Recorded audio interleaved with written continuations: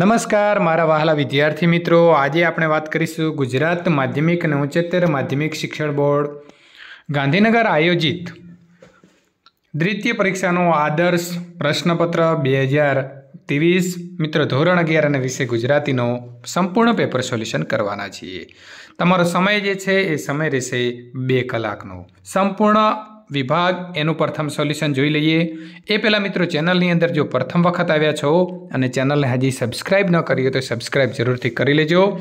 અને જો આની પીડીએફ મેળવવા માંગો છો, તો નીચે આપેલી ડિસ્ક્રિપ્શનની અંદર લિંક જે છે એને મિત્રો એપ્લિકેશન ડાઉનલોડ કરી અને કરી શકો છો. હવે પ્રથમ વાત કરીશું. નીચે આપેલા વિકલ્પમાંથી યોગ્ય વિકલ્પ પસંદ કરી, જવાબ લખો. વનમાં ચાંદલીઓ ઉગ્યો, કૃતિનો સાહિત્ય પ્રકાર કયો છે? તો મિત્રો સાચો જવાબ આવે છે એ લોકગીત છે. નીચે આપેલા પ્રશ્નોને એક વાક્યમાં ઉત્તર આપો. કવિએ શ્રીરામને કેવા કહ્યા છે? તો જવાબ આવશે કે કવિએ શ્રીરામને અશરણ, શરણ એટલે કે નિરાધારનો આધાર કહ્યા છે.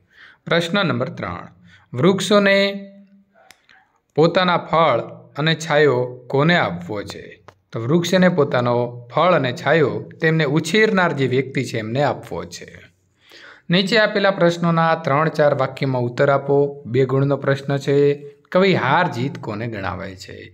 તો કવિ સંસારની મોહ માયામાં પડી રહેનારને હાર ગણાવે છે અને જ્યારે જે પ્રભુ ભજન કરે છે અને ઈશ્વર પ્રાપ્તિ કરે છે, તેને મિત્રો જીત ગણાવે છે.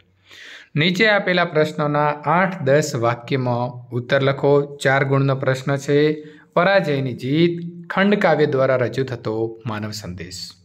તો પરાજયની જીત કાવ્ય દ્વારા કવિએ સુંદર માનવ સંદેશ વ્યક્ત કર્યો છે. સાચી જીત કોને કહેવાય? સત્તાની લાલચ કેવા પરિણામ લાવે છે? સમ્રાટ અશોકે સત્તા વધારવા કલિંગ પર આક્રમણ કર્યું ને આખી નગરી સબમાં ફેરવી દીધી. માનવ જાતને આ દ્વારા કવિ સંદેશ આપે છે કે લાલચ બુરી છે.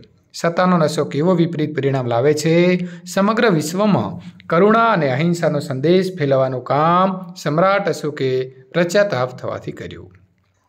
માનવીએ પણ જાગ્યા ત્યાંથી સવાર કરી, સાચા હૃદયનો પસ્તાવો થાય તો ખોટા માર્ગથી દૂર થઈ સાચો માર્ગ અપનાવવો જોઈએ. માનવીને યુદ્ધથી નહીં, પણ શાંતિથી હૃદયના પ્રેમથી પણ જીતી શકાય છે. એ માર્ગે જવાનો કાવ્ય દ્વારા આપણને સંદેશ મળે છે. સાચો વિજય માનવીના હૃદયને જીતવાનો છે. એકબીજાને જીતી રહ્યું છે ભાઈ. જાતને જાસુ, જાતું, હારી. જાસુ, હારી. એમ કવિ નિરંજન ભગત પણ કહ્યું છે ને. આમ કવિ આ કાવ્ય દ્વારા માનવીના હૈયાને પ્રેમથી, ધર્મથી જીતવાની વાત કરે છે. અથવા મિત્રો, મારા ફળીના ઝાડવા બે કાવ્યનો મધ્યવર્તી વિચાર લખો. તો કવિશ્રી દેવજીરા મોઢાએ આ સુંદર ગીત માનવીને ઉપદેશ આપવાના હેતુથી બે વૃક્ષ વચ્ચેના સંવાદ રૂપે રચ્યું છે.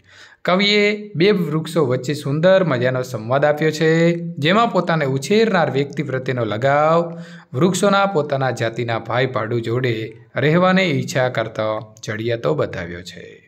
ઉપકારનો બદલો ઉપકારથી આપે તે કૃતજ્ઞ કહેવાય. સંસારનો એક મુખ્ય ઉપદેશ કવિએ વૃક્ષોના માધ્યમથી માનવને સમજવાનો પ્રયાસ ખૂબ જ યુક્તિપૂર્વક અને રસમય રીતે રજૂ કર્યો છે.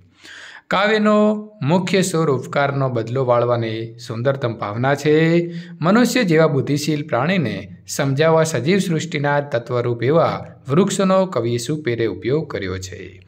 માનવ મનના ભાવનો આરોપણ વૃક્ષમાં કરીને શરૂઆતમાં પોતાના પરિવારજનો સાથે રહેવાની લાલસા અને અંતે જાણે બ્રહ્મજ્ઞાન થતું હોય તે ઉપકારનો બદલો વાળવાની ભાવનાનું પ્રગટીકરણ થાય છે. અને વૃક્ષો પોતાની જાતને આગમાં હોમી દેવા ઈંધણા બનતા બનવા પણ તૈયાર બતાવે છે. આ સમર્પણની ભાવના એ જ કૃતજ્ઞતા છે. ત્યારબાદ મિત્રો વિભાગ બી પદ્ય વિભાગ મિત્રો પૂર્ણ થાય છે. હવે ગદ્ય વિભાગનો પ્રશ્નો જે છે એ વિભાગ બીમાં આવશે. નીચે આપેલા વિકલ્પમાંથી યોગ્ય વિકલ્પ પસંદ કરીને જવાબ લખો. હુકમ માલિક ગદ્યના લેખક કોણ છે? તો સાચો જવાબ આવે છે બી, ચીનુ મોદી. નીચે આપેલા પ્રશ્નોને એક વાક્યમાં ઉત્તર આપો. જીભ દ્વારા કયા બે મોટા કાર્ય થાય છે? તો બોલવાનો અને સ્વાદ ચાખવાનો એ બે મોટા કાર્ય જીભ દ્વારા થાય છે.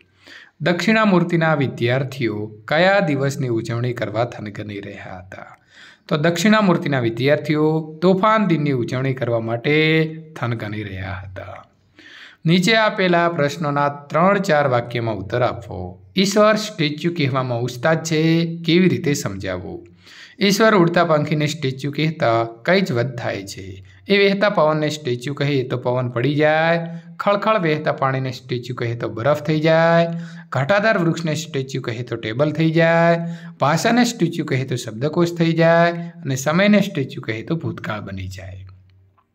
નીચે આપેલા પ્રશ્નોના આઠ દસ વાક્યમાં ઉત્તર આપો. મિત્રો, કર્મનો હિસાબ દરેકે ચૂકવવો જ પડે છે. આ વિધાન કૃતિના આધારે સમજાવો. તો મિત્રો આપણે એનો જવાબ મેળવીશું કે રમણીકલાલને ચોવીસ વર્ષની ઉંમરમાં જ ફોરેસ્ટ ઓફિસરની નોકરી મળી હતી. તેની સાથે સાથે રહેવા માટે બંગલો, નોકર ચાકર ડ્રાઈવર સાથે જીપ વગેરે સગવડો મળી હતી. હોદ્દા અને સત્તાના નશાએ રમણીકલાલને કમંડી બનાવી દીધા. બે નંબરની આવકથી સારી એવી સંપત્તિ ભેગી કરી કુદરતી વિરોધી કરેલો કુકર્મ પાપને વ્યાખ્યામાં આવે છે.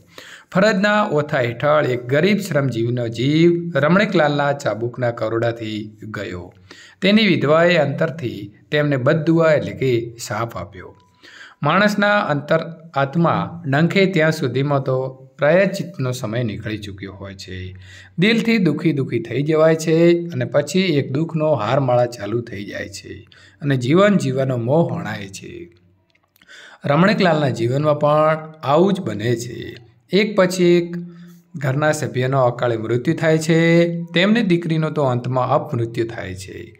આ બધી ઘટમાળા દર્શાવે છે કે કર્મનો હિસાબ દરેકે ચૂકવવો પડે છે. અથવા મિત્રો તમે કેકા શાસ્ત્રીય સંશોધન સંપાદન તરીકે ગુજરાતી ભાષા સાહિત્ય અને સંસ્કૃતિની બહુમૂલ્ય સેવા કરી છે, આ વિધાનનું સમર્થન કરતી વિગતો આપો. તો વિદ્યાર્થી મિત્રો, તમારે સંપૂર્ણ જવાબ લખવાનો છે. જવાબ આપણે અહીં આપી દીધો છે. વિડીયોને તમે અહીં સ્ટોપ કરી અને લખી શકો છો. ત્યારબાદ મિત્રો, વિભાગ સી અને વિભાગ ડીનું જો તમે સોલ્યુશન મેળવવા માગો છો, તો અહીં આપેલી એન્ડ સ્ક્રીન અથવા તો નીચે ડિસ્ક્રિપ્શનની અંદર આપેલી જે લિંક છે, એના ઉપર ક્લિક કરીને મેળવી શકો છો. વીડિયો પસંદ આવતો હોય તો લાઇકનું બટન દબાવી તમારા મિત્રો સુધી શેર કરવાનું ભૂલશો નહીં.